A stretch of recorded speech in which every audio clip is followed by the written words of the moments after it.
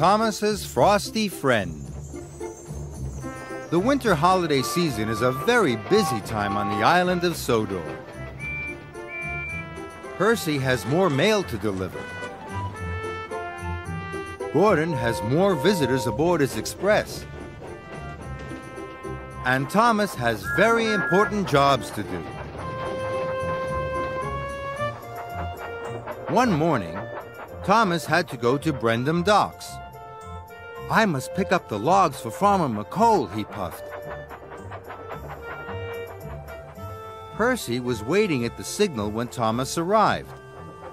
He was very excited. Look what's over there, Thomas, peeped Percy. Thomas looked.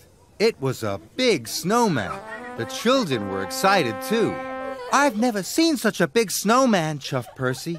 Neither have I, tooted Thomas happily.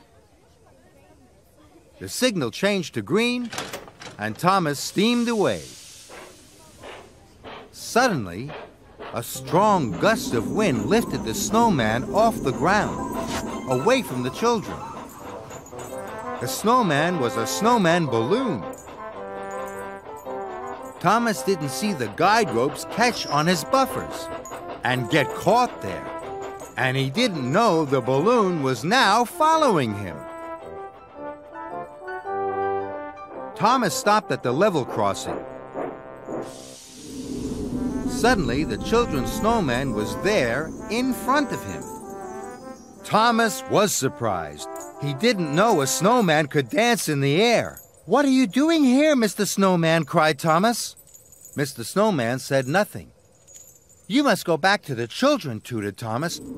They'll be very sad without you. The snowman blew away. Thomas was happy the snowman had gone. He raced away from the crossing. If I puff past, Chuff Thomas, Mr. Snowman will never be able to follow me.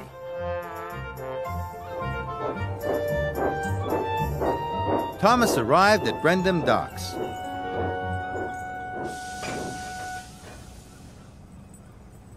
James was there delivering coal. What are you doing with a snowman? he snorted. Oh no, tooted Thomas. Suddenly, the snowman danced in front of Thomas again. Mr. Snowman, I told you to go back to the children. Why are you still following me? Thomas steamed off as quickly as he could. He hoped the snowman wouldn't follow him.